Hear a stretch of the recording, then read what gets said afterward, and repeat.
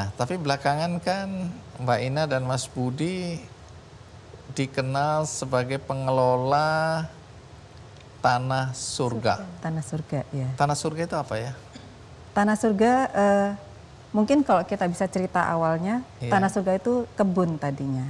Okay. Jadi kita punya kebun organik yang kita tanami dengan organik, uh, kemudian uh, dia berkembang akhirnya. Kita namakan tanah surga itu sebetulnya karena tanah surganya tanaman.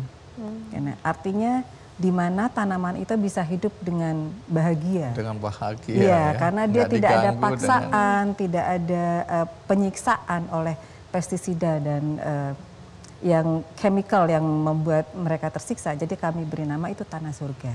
Gitu. Jadi setelah itu ternyata berkembang, hasilnya kan kita bikin kafe kecil, kemudian berlanjut lagi menjadi sebuah uh, resto dengan konsep uh, dari kebun ke meja makan. Dari kebun ke meja makan. Ini ya. di sekitar rumah ini berarti ya?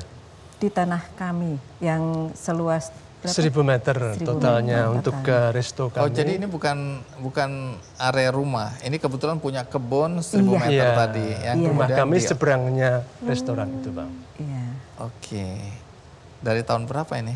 Dari tahun berapa ke Bapak? Kami uh, membuka dalam bentuk restoran sebetulnya 2021, tetapi seperti tadi dikatakan Arina, kami memiliki kebun 2017 bisa dikatakan seperti itu kita mulainya, yeah. kemudian uh, berubah menjadi kafe dan uh, eh, 2021 kita jadikan restoran.